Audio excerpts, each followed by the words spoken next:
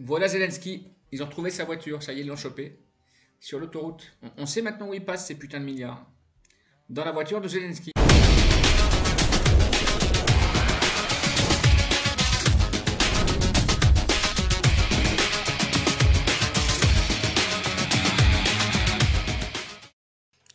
Allez les amis, salut à tous, c'est Ami Négociateur. J'espère que vous allez bien. Je suis très heureux et très content de vous trouver sur ma chaîne YouTube pour une nouvelle vidéo. Aujourd'hui les amis, variole du singe, OMS et nouvel ordre mondial. Tout est sous contrôle. Tout est sous leur contrôle, entendez bien. Avant de démarrer la vidéo, comme d'habitude, je vous rappelle les deux moyens pour soutenir la chaîne. Le premier moyen, c'est le lien PayPal. Je vous mets le lien dans la description de cette vidéo. Et le deuxième moyen, c'est de cliquer sur le bouton rejoindre. Vous aurez accès ainsi à plus de 270 vidéos privées, censurées, strikées. Et vous pourrez contribuer à me soutenir également par ce biais. Je vous souhaite une bonne vidéo. Uh. Uh.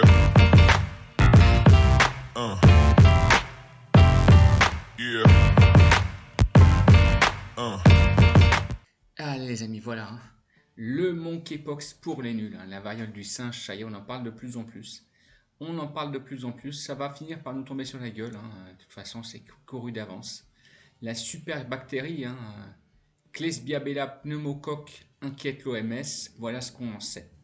Et donc, également, les membres hein, convoqués par le président de l'OMS hein, qui a annoncé la convocation mercredi 14 août d'un comité d'urgence qui devra décider si l'épidémie de variole du singe constitue une urgence de santé publique de portée internationale. ils ne vont pas oser nous refaire le coup du Covid. Bah, J'ai l'impression que si, en fait. J'ai l'impression que si, parce que plus c'est gros, plus ça passe plus c'est gros, plus ça passe. Une nouvelle pandémie avant les élections de novembre aux États-Unis serait quand même bien pratique pour encourager à nouveau le vote par correspondance et le bourrage d'urnes. Eh oui, la grosse farce de l'OMS, hein, euh, en complicité, hein, on peut le penser avec l'Union européenne, pour lesquelles ça arrangera bien les, affaires également de voir la population européenne confinée, hein, puisqu'on voit que notamment, alors c'est plus dans l'Union européenne, mais notamment au Royaume-Uni, euh, ça chauffe euh, lourdement. Ils sont tranquilles au Royaume-Uni maintenant, ils ont réussi à détourner l'attention hein, avec euh, le conflit, la guerre civile carrément hein, entre l'immigration et euh, les soi-disant euh, natifs. Ils ont détourné l'attention à la fois de la pédophilie et à la fois du nouvel ordre mondial qui règne dans ce pays également. Ils essaient par toutes portes de nous refaire le coup du Covid, le cerveau des dirigeants de l'OMS et des gouvernements, Walk Co. Ils viennent nous vacciner de force. Hein tu sais, hein, j'ai l'impression quand même qu'ils ont des stocks encore de, vaccins Pfizer et de vaccins ARN messagers là. Et comme ils les ont pas écoulés, ils les ont pas vendus, bon bah ils vont nous refaire le coup du Covid en version 2024-2025. Comme ça, on va encore avoir une campagne obligatoire de vaccination. Et puis, bah, on va encore faire les cobayes. Hein. Ça va finir comme dans la série euh, The Boys. Je sais pas si vous l'avez vu. On va finir par être des mutants. Hein. Il va nous pousser à une cinquième jambe ou un œil dans le dos à force de l'accepter de se faire vacciner comme des cobayes. Et il y a des pays pour lesquels c'est obligatoire. Hein. La France, c'est quasiment obligatoire. Ils nous ont quasiment forcé de toute façon à nous vacciner. Ou alors sinon, on ne pouvait pas bouger de chez nous. Donc la fameuse variole du singe, la voilà. Hein.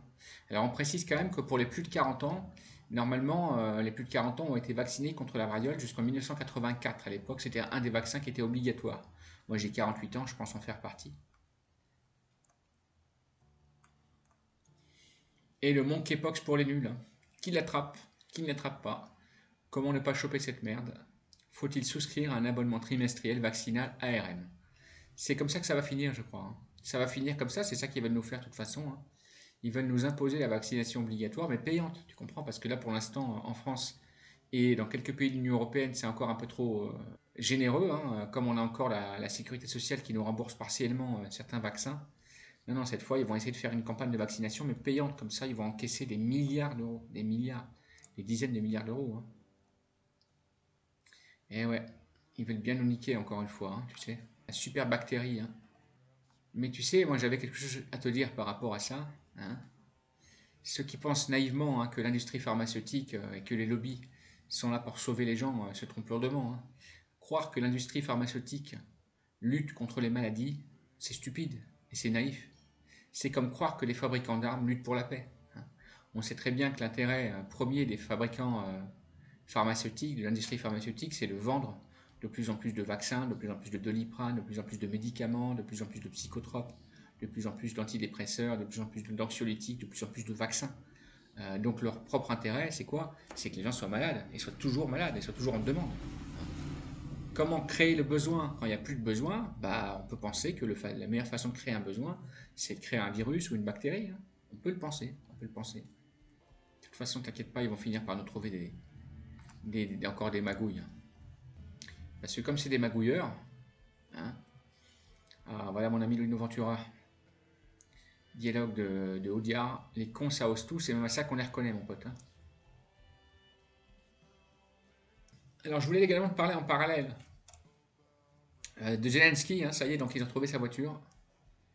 Ils ont trouvé sa voiture. Voilà Zelensky, ils ont trouvé sa voiture, ça y est, ils l'ont chopé. Sur l'autoroute. Bah voilà, on sait maintenant où il passe ces putains de milliards. Dans la voiture de Zelensky, mon pote. Alerte également qui doit tous nous, nous attirer l'attention. Hein. Van der Leyen transfère 4,2 milliards d'euros. Et je te rappelle qu'elle en a promis 50 milliards hein, à l'Ukraine, dont 800 millions d'euros à la France. Et donc là, il y a 4,7 millions d'euros qui ont été découverts dans le coffre d'une voiture d'un comptable, euh, d'un responsable de la comptabilité d'une société offrant des services aux forces armées ukrainiennes. Voilà, donc tu vois, c'est pas mal. Hein les millions euh, de Zelensky, les millions qu'on transfère et qui nous manquent pour bouffer, et eh ben ils sont là, on les a trouvés, ça y est, dans la voiture du, copain de Zelensky. Hein. Ce que tu comprends, c'est des prête-noms. Bien évidemment que c'est pas Zelensky lui-même hein, qui va euh, prendre les, billets et les mettre dans son coffre de voiture. Il le fera, mais sur un compte en banque en Suisse ou à Hong Kong. Non, non. Mais par contre, qu'un chef comptable d'une société euh, sous-traitant, hein, ça s'appelle comme ça, fasse le, le, sale boulot, ça, en tout cas, on peut l'imaginer. On peut l'imaginer, mon ami. Donc euh, voilà où on est aujourd'hui, hein, nouvel ordre mondial, nouvel ordre mondial des satanistes. Quand je te dis que tout est sous leur contrôle, ça veut dire quoi? Ça veut dire qu'ils ont tout prévu en fait. Ils ont tout prévu. Ils nous ponctionnent de plus en plus. Je te rappelle qu'en septembre, les impôts vont augmenter, les taxes vont augmenter, et ils vont nous taxer notamment sur les contrats d'épargne et sur les comptes bancaires. Ils ponctionnent et ils envoient l'argent à Zelensky ou aux autres euh, complices de l'Union européenne et du nouvel ordre mondial. Et quand les gens se rebellent, qu'est-ce qu'ils font? Quand les gens découvrent leur magouille, qu'est-ce qu'ils font? Eh bien, ils nous menacent de super bactéries ou une menace de variole du singe. Et comme ça, ils vont nous confiner. Voilà. Comme ça, on paye des impôts, on est confiné. Non, ça va pas, ils nous menacent. Voilà, c'est comme ça que ça marche maintenant le monde. Comme ça que ça marche le monde. Mais vous inquiétez pas, de toute façon, on s'en fout. Pourquoi?